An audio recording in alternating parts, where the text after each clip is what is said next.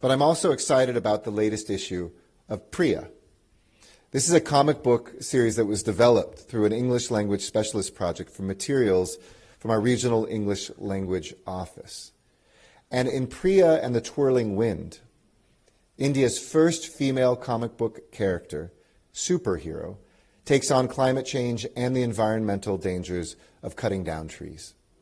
And this story in this comic book reflects U.S. Mission India's commitment to combating climate change, to cleaning our air, and to having a healthier future. And starting with our young people.